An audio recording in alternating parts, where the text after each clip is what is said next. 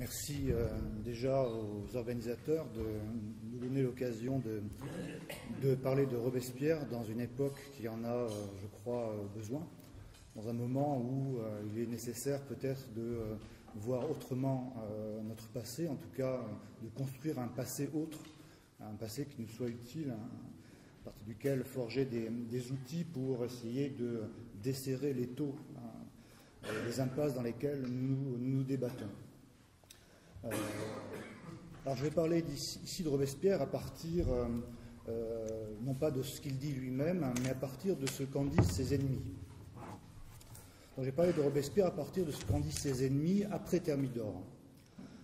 Henri Guillemin dit que Thermidor, dans Silence aux pauvres, c'est le moment où la Convention jette le masque qu'elle s'imposait par effroi des robespierristes. C'est-à-dire que je vais parler de Robespierre à partir du discours de ceux qui l'ont éliminé ou qui ont applaudi à son élimination. Discours, nous allons le voir, qui renforce euh, l'interprétation euh, de Guillemin, qui, en bien des points, est proche de celle que proposait Albert Mathieu.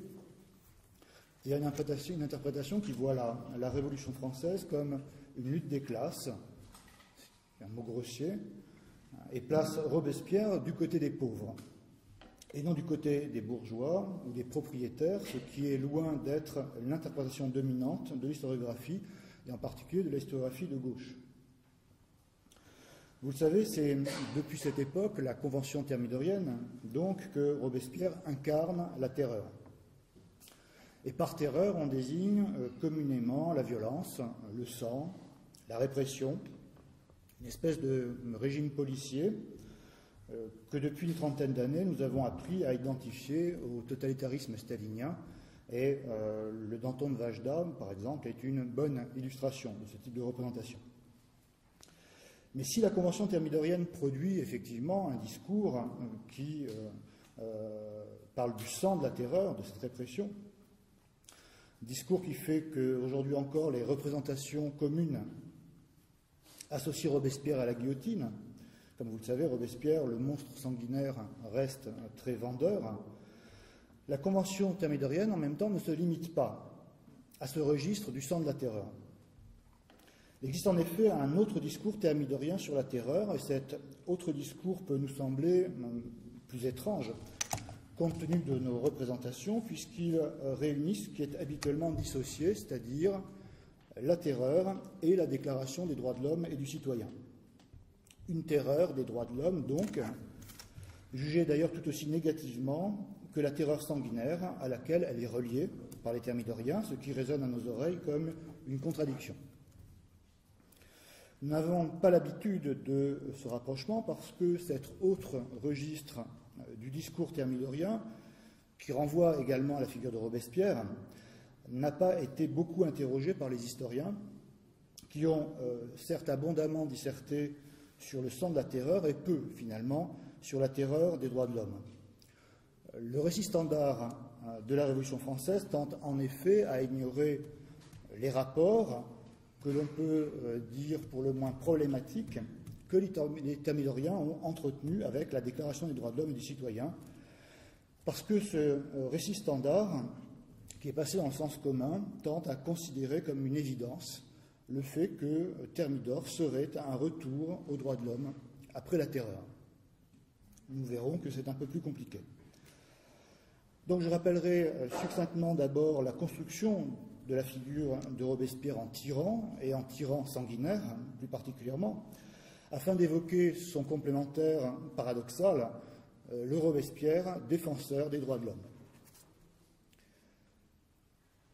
Alors, les, thermidoriens qui construisent la, matrice de la légende noire de Robespierre, qui va prospérer euh, pendant deux siècles, euh, avec Marc Bélissa, euh, on a produit un ouvrage qui devrait sortir d'ailleurs hein, dans peu de temps, 19, 19 novembre, je crois, qui essaie de, retracer un peu la construction de ce mythe Robespierre, de cette légende noire, également de cette légende dorée, hein, qui a une épaisseur temporelle énorme. Et on s'aperçoit que euh, les thermidoriens, quand ils construisent cette légende noire, puisent euh, dans un réservoir à pleine main, un réservoir de calomnies qui ont été diffusées massivement bien avant, en particulier dans la presse royaliste satirique, et ce dès les premiers mois de la Révolution.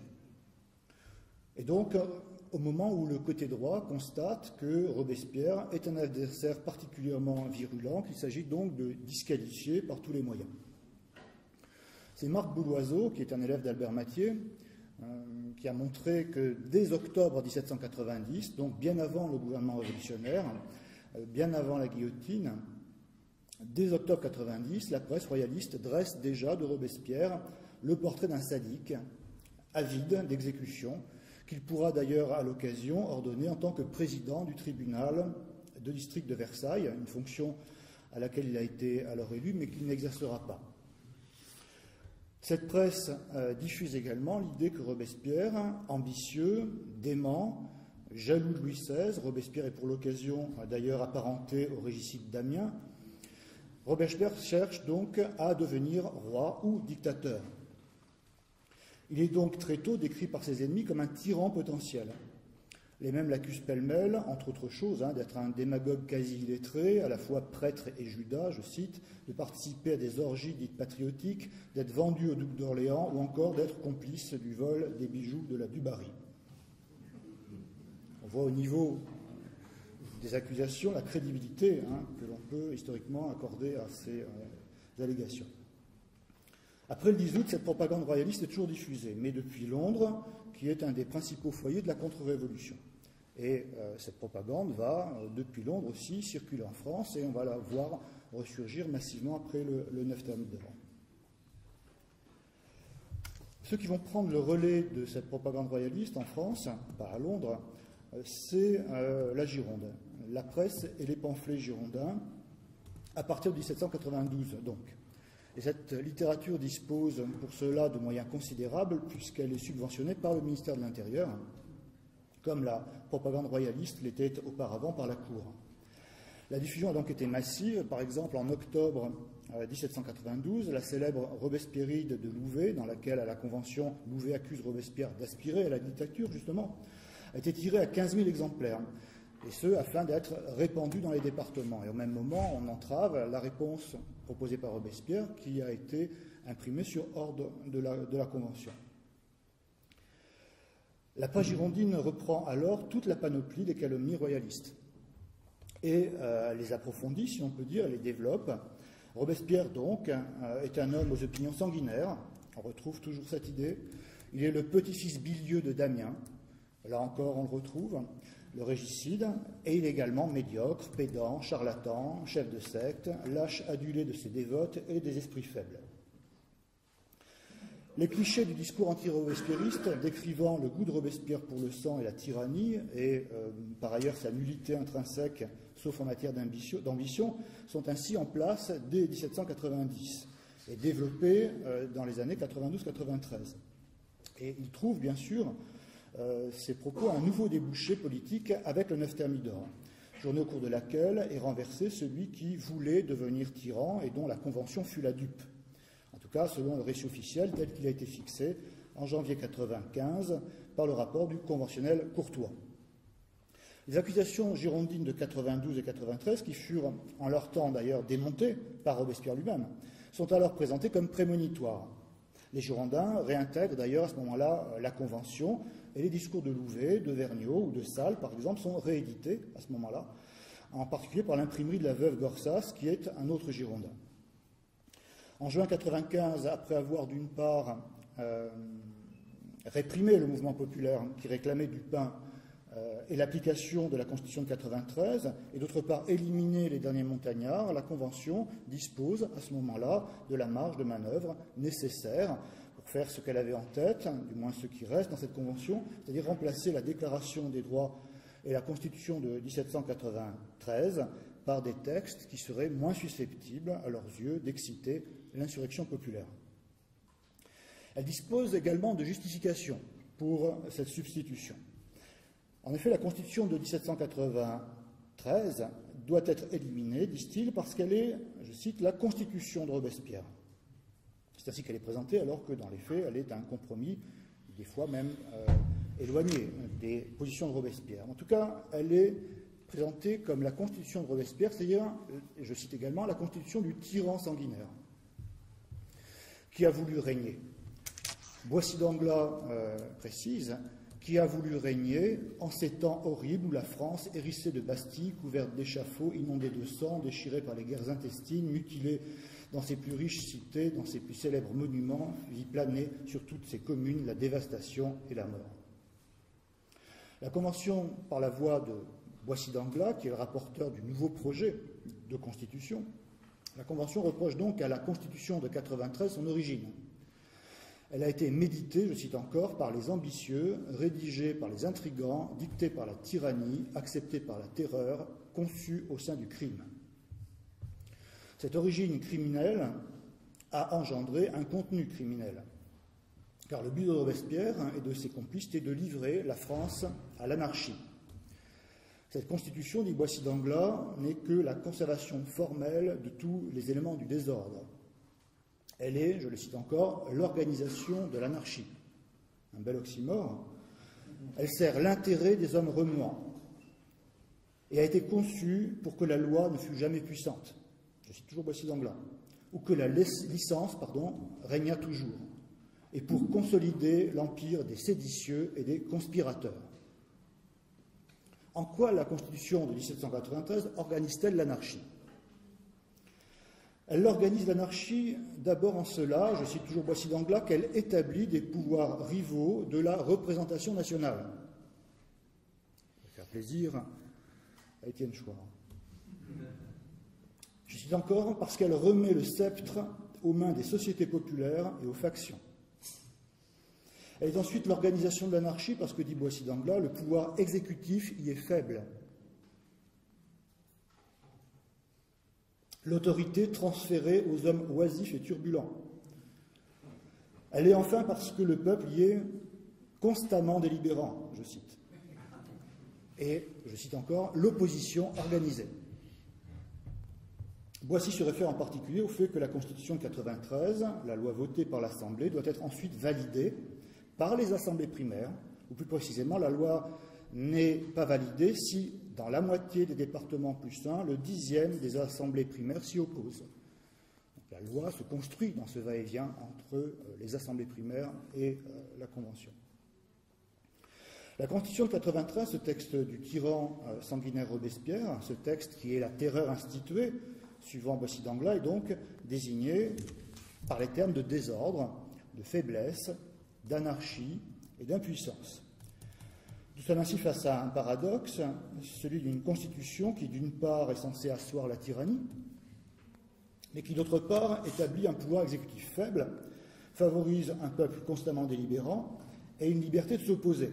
C'est-à-dire que nous sommes fort loin de ce que l'on entend généralement par euh, tyrannie, par dictature, sans parler évidemment de totalitarisme.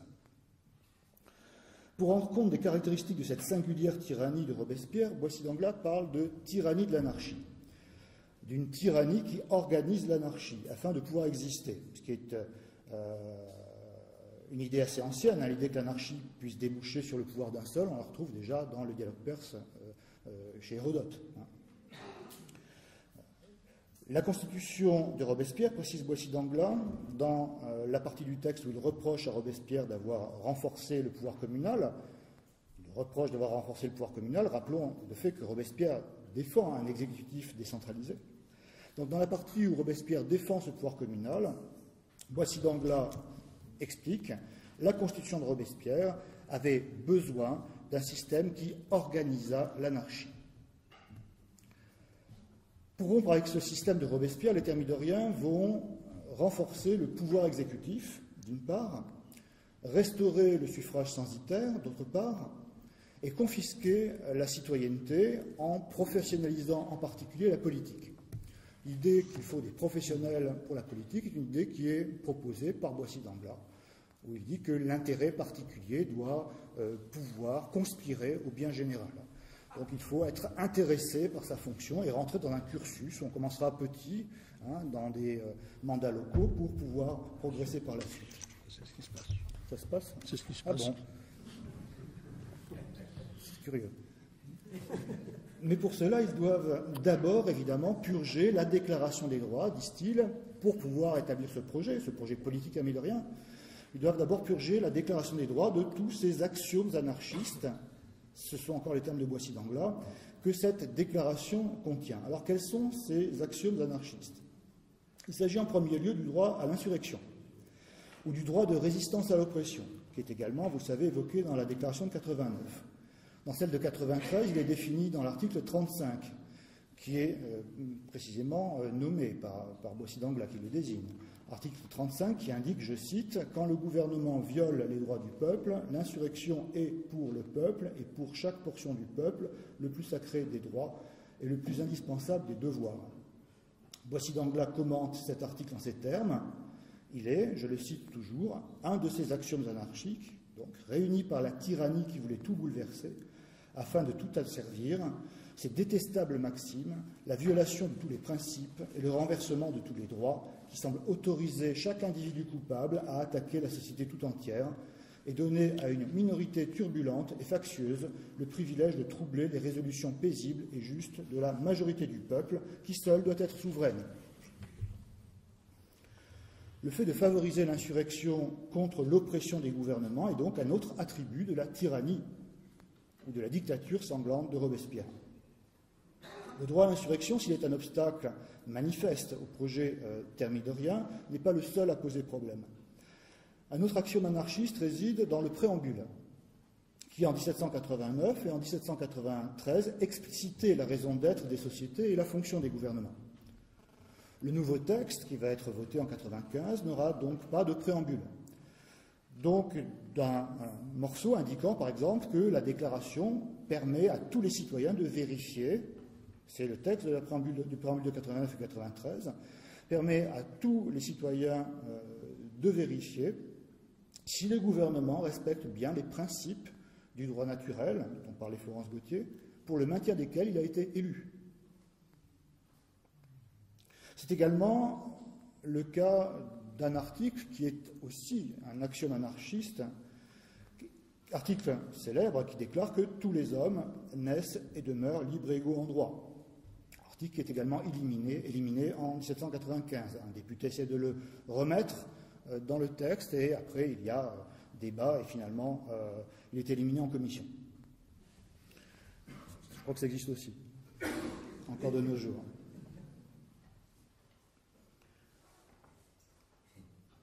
Plus largement, on constate que ce texte élimine toutes les références au droit naturel des hommes qu'évoquait Florence, c'est-à-dire ceux qui sont universels, hein, qui sont inhérents à l'homme et ne dépendent pas des conventions.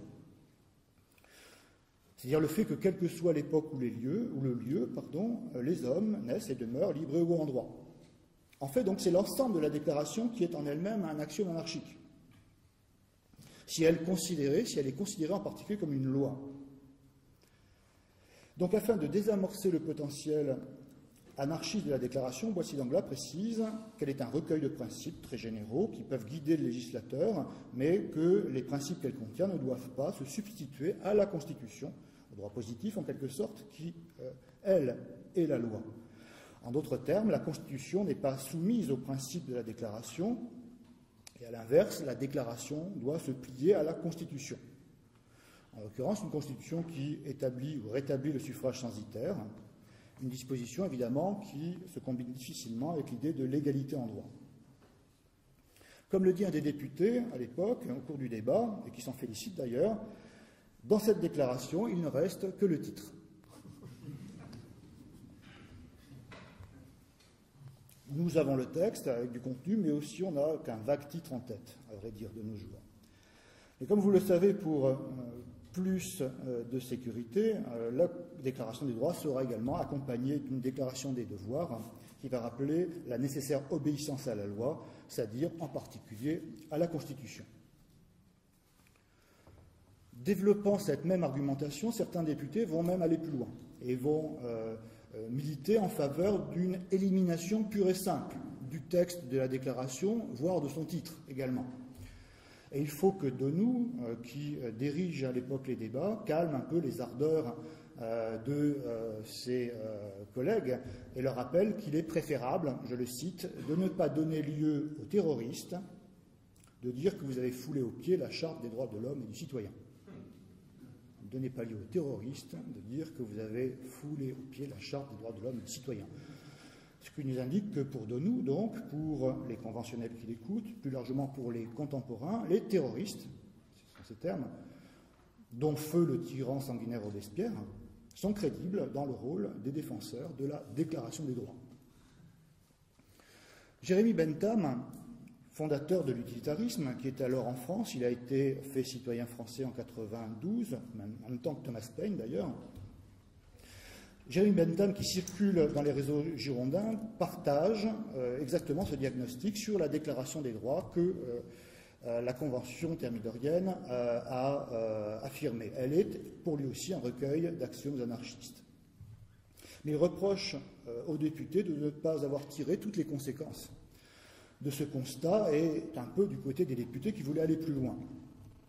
Si cela euh, avait été le cas, dit-il, euh, il n'aurait pas commis l'erreur de voter une autre déclaration, euh, même expurgée de tout ce qu'elle peut contenir d'anarchiste. Contrairement à Dounou, Bentham n'est pas un politique et ne s'embarrasse pas de stratégie, hein, de ce que l'on pourrait dire, et de l'image républicaine qu'on doit maintenir de toute manière en 1993, en particulier au moment où les armées royalistes débarquent à Quiberon.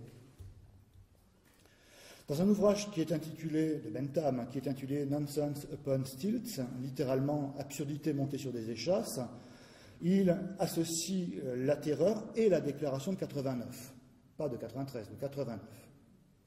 Il associe la terreur et la déclaration de 89, et en particulier euh, la terreur et l'article 2 de la déclaration de droit de 89. L'article 2 que j'évoquais tout à l'heure, selon lequel les hommes naissent et demeurent libres et égaux en droit les hommes naissent et demeurent libres et égaux en droit, voilà, dit Bentham, le langage de la terreur. Les absurdités sont les principes du droit naturel, les échasses, le fait de les déclarer à la tête d'une constitution et d'en faire ainsi un instrument politique ou des instruments politiques qui vont engendrer la terreur. La terreur est ici définie comme le moment où l'article 2 de la Déclaration des droits de 1789, en quelque sorte, est pris au sérieux. Au même moment, un autre fondateur du libéralisme économique, également proche des Girondins, connaît Bentham d'ailleurs, qui est Jean-Baptiste C., exprime également toute sa méfiance vis-à-vis d'une déclaration qu'il associe aux insurrections populaires et à Robespierre. L'expérience, écrit-il, en particulier l'expérience du gouvernement révolutionnaire, nous a appris qu'un usurpateur pourrait s'en faire un instrument. Robespierre ne disait-il pas, en s'adressant à la tribune des Jacobins, Peuple, on te trahit, reprends l'exercice de ta souveraineté. Il est intéressant de noter qu'en 1995, ceux qui de nos jours sont considérés comme les fondateurs des théories économiques libérales dénoncent alors les droits de l'homme, qu'ils considèrent comme un brûlot terroriste. Comme nous le constatons, la Déclaration des droits n'est pas alors le catalogue des droits bourgeois nécessaires à l'avènement du capitalisme.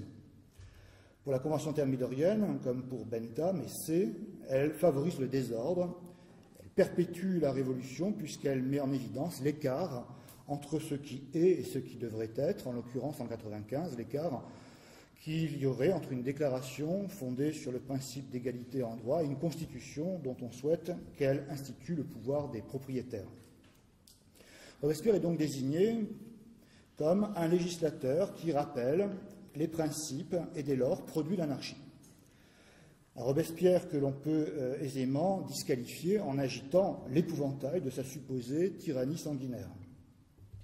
Or, en 1795, le rôle de Robespierre est repris par un autre personnage sur lequel ne pèse pas, cette fois-ci, l'hypothèque terroriste, puisqu'il s'agit de Thomas Paine, qui est célèbre euh, pour être l'auteur des droits de l'homme et qui est une victime de la terreur, puisqu'il a été incarcéré au Luxembourg. Et contre Boissy d'Anglas, Paine rappelle les principes de la déclaration et se retrouve dès lors accusé de vouloir générer l'anarchie. Thomas Paine, qui est un acteur important de l'indépendance américaine, sujet britannique, banni d'Angleterre pour avoir justement défendu les principes de la Déclaration des droits, mais aussi citoyen français, comme je l'ai indiqué tout à l'heure, en même temps que Bentham, Thomas Paine est un député. Paine est un député et il est le seul représentant du peuple à l'époque à intervenir dans l'Assemblée contre le projet de constitution présenté par Boissy d'Anglas. Projet qu'il dénonce donc, la déclaration à la main, comme étant, je le cite, rétrograde des véritables principes de liberté. Puisque ce projet de constitution, dit-il, limite l'accès à la citoyenneté et s'affiche comme une république des propriétaires, au sens où alors la société aurait pour principal objet de garantir aux propriétaires la jouissance de ses biens. Or, pour Payne, une société politique n'est pas une société par action, ce sont ces termes, dans laquelle le pouvoir est proportionnel à la propriété. Pour Payne, une société politique n'a pas pour fonction de favoriser le propriétaire, c'est-à-dire le puissant? Mais, dit-il, elle a au contraire pour fonction d'aider le plus faible, de lui garantir sa liberté face au puissant. Et Payne énonce donc là, devant l'Assemblée, les principes du droit naturel à l'existence, principes du droit naturel à l'existence qu'il a notamment en partage avec Robespierre. Ce qui ne signifie pas par ailleurs qu'il faille confondre les deux hommes, hein, qui ne sont, pas en tout point semblables. Payne n'estimait d'ailleurs pas beaucoup Robespierre. Mais Payne conclut son intervention en considérant donc que cette constitution, parce qu'elle est fondée sur la propriété, non sur l'égalité, que cette euh, constitution, qui est en contradiction avec les principes de la déclaration, depuis qu'ils ont été euh, portés euh, par l'enthousiasme démocratique de 89, cette constitution va finir par faner la révolution.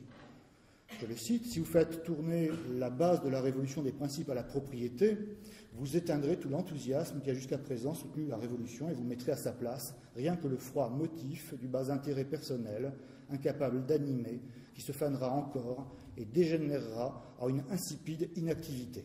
Remarquons au passage que c'est effectivement l'objectif euh, des. Il est intéressant de noter que lorsque Payne s'exprime à ce moment-là, en 1995, il n'innove absolument pas.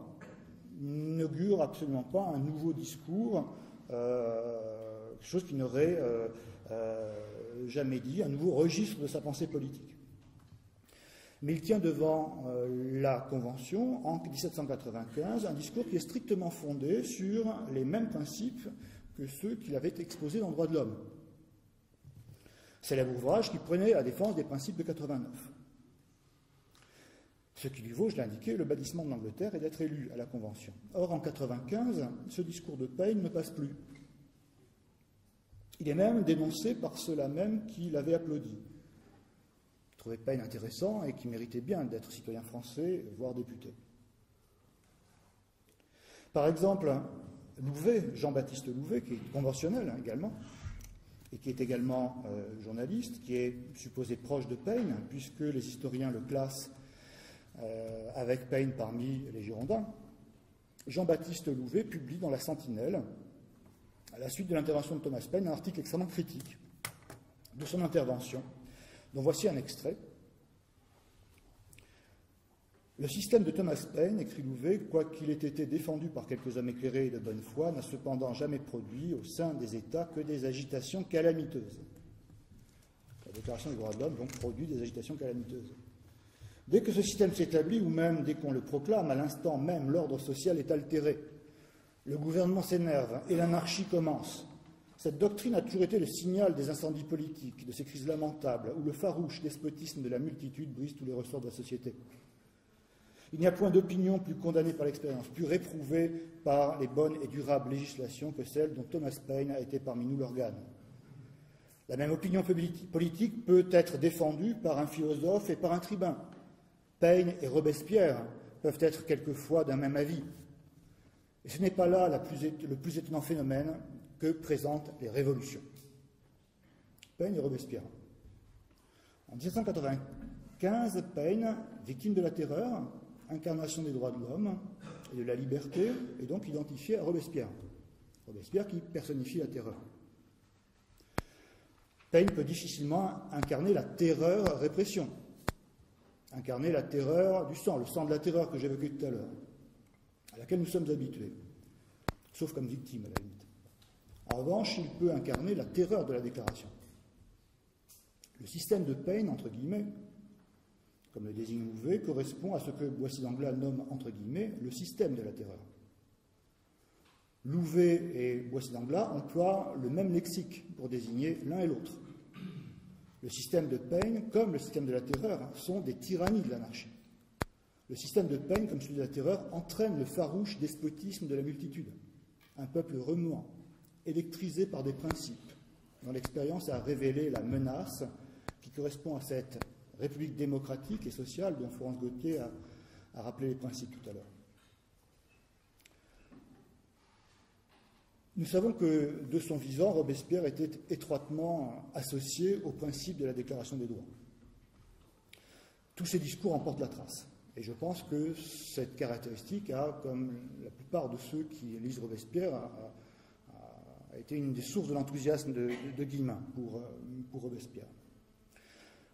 Camille Desmoulins a écrit de Robespierre qu'il était le commentaire vivant de la Déclaration des droits. La propension de Robespierre à se référer systématiquement à ces principes lui a d'ailleurs valu des sarcasmes. Par exemple, ceux d'Adrien Duport, pour lequel Robespierre, je le cite, incarnait une chair de droit naturel, signifiant par là qu'il était coupé des réalités et disserté au lieu de faire de la politique. De fait, Robespierre est un des représentants du peuple qui n'hésitent pas systématiquement, dans tous ses discours quasiment, à rappeler les principes des droits naturels inscrits dans la Déclaration, afin de déterminer si la loi est bien conforme à ces principes qui sont censés guider la loi. Mais chez Robespierre et chez les patriotes en général, le côté gauche, et ceux qui euh, tiennent à peu près le même discours, ces principes ne sont pas confinés dans l'abstraction. On n'est pas dans une discussion euh, entre intellectuels dans un salon, on est entre législateurs et on fait la loi. Et donc, à chaque fois, ces principes sont toujours associés très directement euh, à des pratiques. Le rappel des principes part, toujours de situations extrêmement concrètes. Et un des, exemples les plus célèbres, c'est bien sûr le discours contre le décret du marque d'argent, dans lequel Robespierre dénonce la distinction entre euh, citoyens actifs et citoyens passifs, et l'écart qu'il y a donc entre la Constitution euh, et sa mère, la Déclaration des droits. Hein. la fille ressemble-t-elle tant à sa mère? Donc Robespierre, effectivement, développe un argumentaire très loquien, hein, qu'on peut retrouver dans un traité de philosophie à ce moment-là, mais appuyé à une situation extrêmement concrète. Que fait-on de ceux que l'on désigne comme des passifs? N'est-ce pas en contradiction avec toutes les valeurs qui fondent et nous légitiment? Qui fondent la Révolution et nous légitiment? Alors les thermidoriens nous montrent également qu'ils sont très inquiets des conséquences concrètes, pas abstraites, les conséquences concrètes de ces principes supposés abstraits.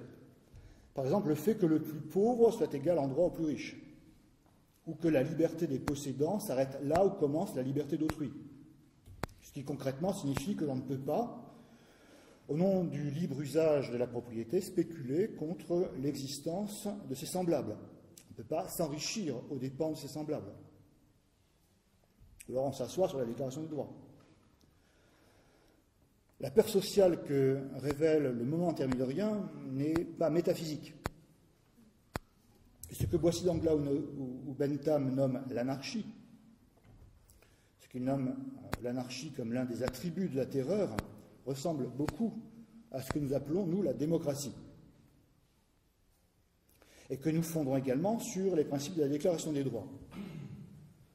Mais une déclaration dont nous avons cependant perdu en grande partie euh, le sens et je dirais les vertus subversives, alors que les thermidoriens, eux, les avaient parfaitement à l'esprit. Cette représentation de la terreur, qui n'est pas seulement répressive, donc, rend plus compréhensible la manière dont Robespierre définit lui-même la terreur. La terreur est, dit-il, en février 1794, je cite, une conséquence du principe général de démocratie appliqué aux plus pressants besoins de la patrie.